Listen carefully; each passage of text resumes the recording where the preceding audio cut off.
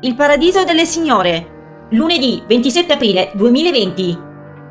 Salvatore continua ad essere sempre più convinto che Gabriella sia la donna della sua vita.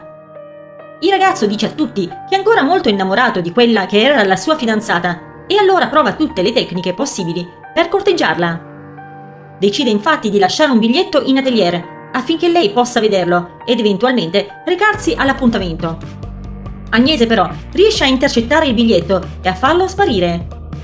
Riccardo conferma la sua decisione di voler convolare a nozze con Ludovica per prendersi le sue responsabilità e occuparsi del figlio che aspettano.